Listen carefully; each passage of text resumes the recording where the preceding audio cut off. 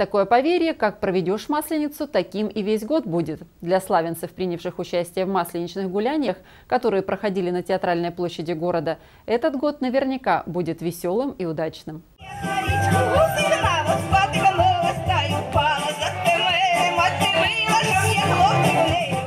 так, под веселые песни с танцами и прекрасным настроением славянцы провожали зиму и встречали весну. В этом году последний день Масленицы выпал на 1 марта и совпал с календарным началом весны. И по-весеннему теплая погода позволила жителям от души повеселиться. Они участвовали в конкурсах, покупали сувениры на ярмарке поделок, угощались горячим чаем и блинами. Угостили блинами, очень вкусные блины. Спасибо им. Молодцы, девчонки. Как вам вообще праздник Масленицы? Весело, хороший праздник, особенно в воскресенье. Разгуляй такой, народу много, всем весело. Спасибо. Блины вкусные, настроение отличное, погода шикарная, всех с праздником. Спасибо, блины замечательные, очень вкусно. Для юных славянцев также было приготовлено немало сюрпризов. Они могли поучаствовать в интерактивных играх, посоревноваться в перетягивании каната, побороться в костюмах сумо, попрыгать через скакалку, преодолеть полосу препятствий или попробовать свои силы в гиревом спорте.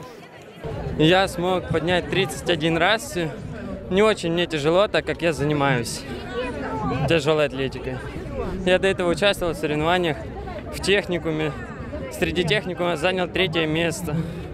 Вот, вот так вот. Занимайтесь спортом. За участие в конкурсах и состязаниях каждому давали билетики, которые они опускали в лототрон, чтобы принять участие в розыгрыше призов. Одними из первых были разыграны электронные часы и чайник. Все хорошо. 134, как вас зовут? Данил. Данил! И Данилу вручается чайник. И теперь вы понимаете, что мы все идем к нему на чай. Буквально через пару часов, Данилочка, так что у вас есть замечательная возможность сбегать домой, прибраться, еще блинчиков напечь, ну и сгонять там в магазин за какими-то сладостями.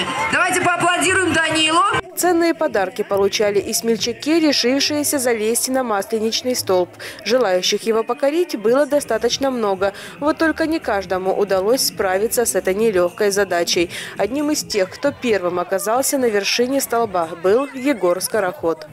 Я уже не первый раз залажу на столбы, как бы все получается. В этом году я получил беспроводные наушники в подарок и лотерею. Там особо хитрости нету, ну как бы это нелегко.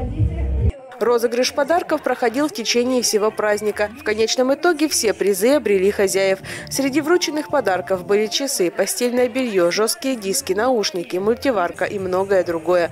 Но главным подарком для всех собравшихся на площади было прекрасное настроение, которым славянцы щедро делились друг с другом.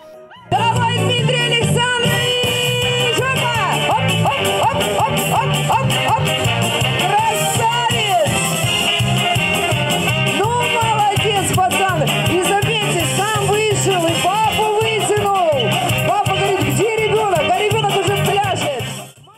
Вот такой веселой, широкой и вкусной была Масленица в Славянске на Кубани, сразу после которой начался Великий пост. Он продлится целых семь недель и завершится 19 апреля, в день Великой Пасхи.